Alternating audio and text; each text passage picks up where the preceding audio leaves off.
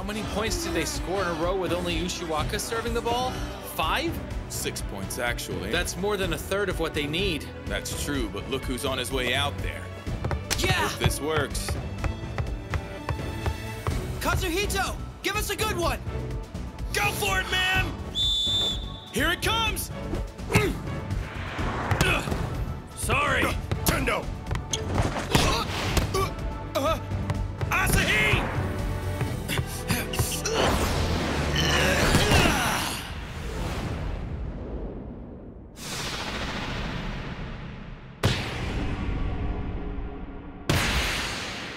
You're not working with Kageyama, so don't just jump. This is gonna be at first tempo.